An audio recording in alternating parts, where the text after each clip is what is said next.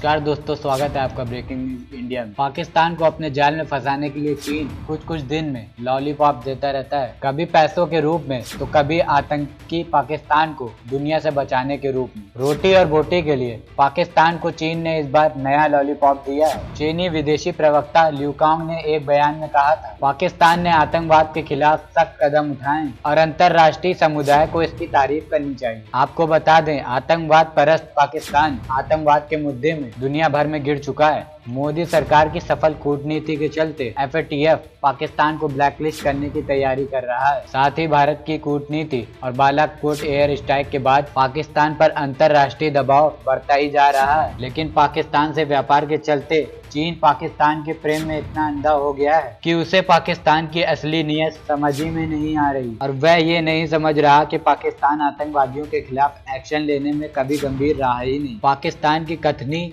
और करने में ज़मीन आसमान का अंतर है। खैर, अब चीन को ये कौन समझाए? तभी तो पूरी दुनिया के उलट वो पाकिस्तान का समर्थन कर रहा है। चीन के विदेश मंत्रालय प्रवक्ता ल्यूकांग ने कहा, पाकिस्तान अंतर्राष्ट्रीय आतंकवाद निरोधी अभियान का महत्वपूर्ण हिस्सा है। आतंकवाद के खिलाफ उसने पहले भी महत्वपूर्ण कार्रवाई की है, लेकिन ताज़ा दिशा निर्देश से उसकी संघीय और प्रांतीय एजेंसियों को नई ताकत मिलेगी और वे ज़्यादा प्रभावी कार्रवाई कर पाएँगे। इस कार्रवाई में चीन उसे पूरा सहयोग भी करेगा। तो सुना आपने, किस तरह से चीन पाकिस्तान के इस कदम से फूला नहीं समा रहा उसे लगता है इस कदम के बाद पाकिस्तान में आतंक और आतंकवादियों का सफाया हो जाएगा।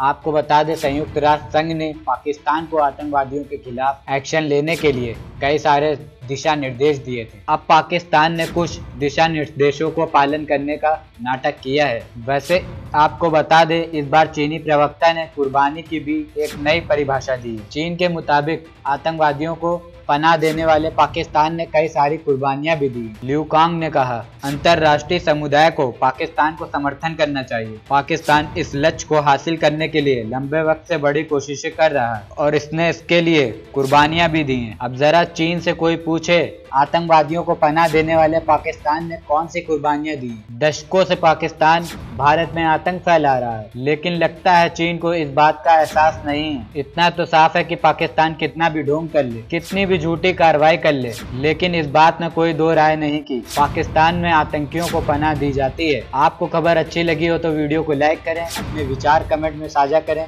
और चैनल को सब्सक्राइब करना बिल्कुल भी न भूलें। धन्यवाद।